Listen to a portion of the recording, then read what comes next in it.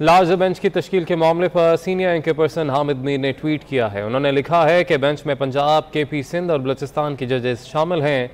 एक बेंच चारों सूबों की नुमाइंदगी कर रहा है। अल्लाह खैर करेगा।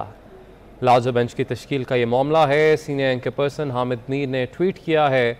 उन्होंने लिखा है कि बेंच में पंजाब के पी सिंध और बलूचिस्तान के जजेस शामिल हैं।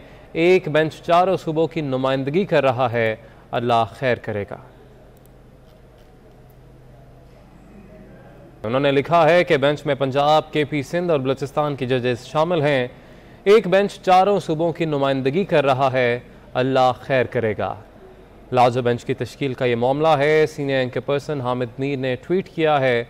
उन्होंने लिखा है कि बेंच में पंजाब के पी सिंध और बलूचिस्तान के जजेस शामिल हैं। एक बेंच चारों सूबों की नुमाइंदगी कर रहा है। अल्लाह खैर करेगा।